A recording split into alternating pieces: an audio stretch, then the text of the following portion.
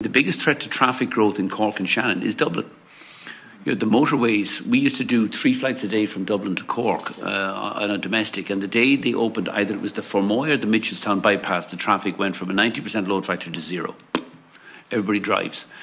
But we still think so. But Cork is growing strongly with in, uh, European traffic inbound into Cork in the summer and some charters outbound.